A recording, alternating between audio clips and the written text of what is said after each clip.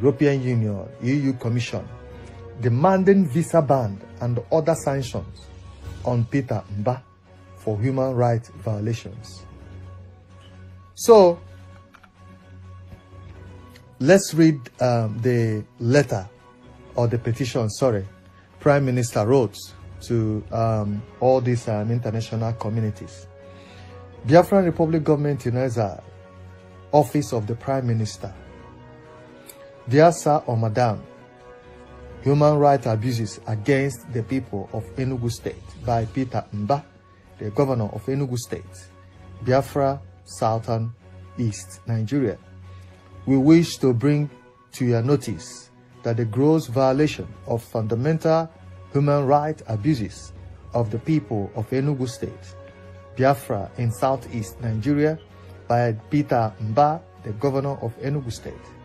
Peter is confiscating and locking up people's businesses and means of sustenance without resource, resources to the constitutions of the Federal Republic Government of Nigeria or any charter, treaty or convention known anywhere in the civil world, thereby denying the people of Enugu state the right to personal properties and free enterprises.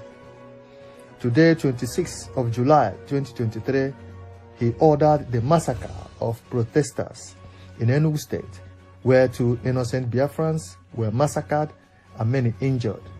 Peter Mba is currently in court academic certificate forgery during the last election in Nigeria. The elders and region leaders in Enugu state have been calling for Peter Mba to resign from office.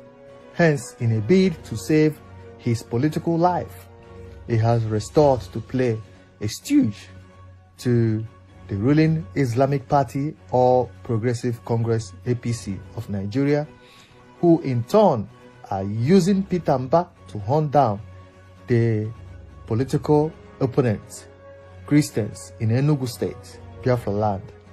By this letter, we are notifying you of the atrocities of Peter Mba and the ruling Islamic APC party in Nigeria. We request that you impose a visa ban on Governor Peter Mba, adding add him on the list of terrorists and haters of freedom, freedom and democracy in Nigeria. Signed, Prime Minister, Biafra Republic Government in exile. So, yes, Prime Minister Simon Ekpa has um, written a petition to this um, international community demanding visa ban on um, on Peter Mba for human rights violation.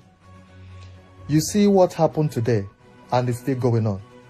Peter Mba has taken this way to um, commit evil on people and indigenous and residents of Enugu State. So many people, few people I think, or two, three, were by today in Enugu State.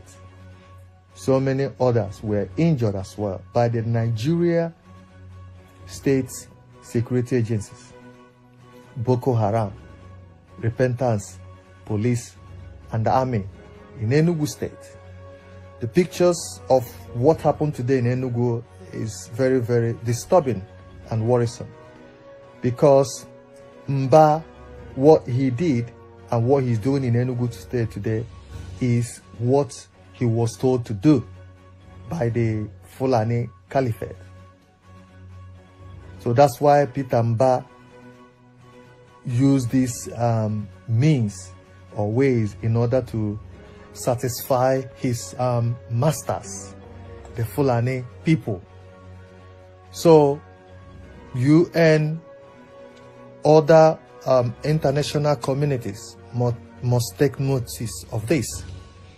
Because what Mba did today in, in Enugu State is crime against humanity and must be punished for that.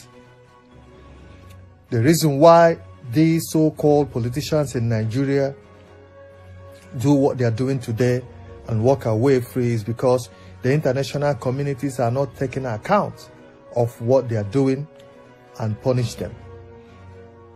That's why some of them today in that country commit human rights violations, commit killing everywhere, mainly in Southeast.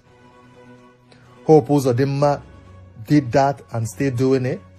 Nothing has happened to him.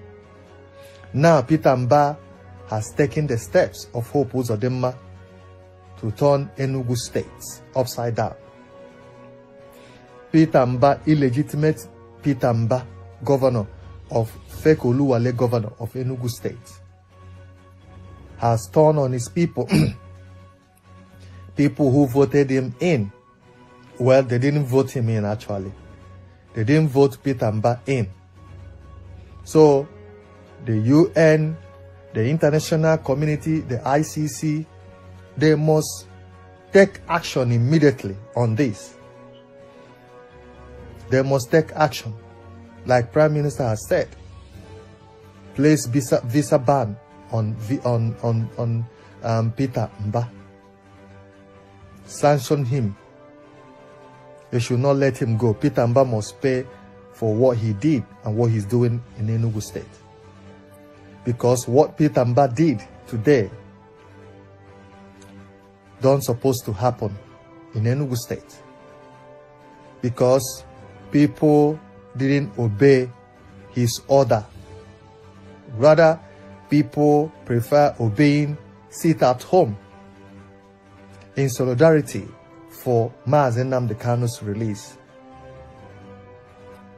But Peter Mba said that nobody should obey that order or else your shop will be taken away from you. And he did that by force deploying Nigeria Zoo Army, deploying Nigeria Zoo Police and other security agencies in Nigeria to carry out this evil attack on, Biaf on Biafran indigene and the Enugu state residents as well. Because Peter Mba has no right, I keep saying it, he has no right whatsoever to lock up or seal up businesses belonging to indigenes of Enugu State. He has no right to do that. So UN, ICC, and other international bodies must take action to stop this evil being committed by Nigerian zoo government on their own citizens this kind of violation has been going on for a while, but the UN or other international communities kept quiet. And that's why this thing continue happening. Because if they have taken action on any one of them, I don't think others, others will learn and will not do this again. But because the UN and no one has taken action on these people. Why must Mba kill people or injure people today in Enugu State because they disobey his order? Why must he do that? Peter Mba must pay for his action. Like Prime Minister said, that Peter Mba must pay for what he did today in Enugu State. The people of Enugu State are demanding his resignation immediately. This is where we're going to stop. Thank you and God bless you all. Bye.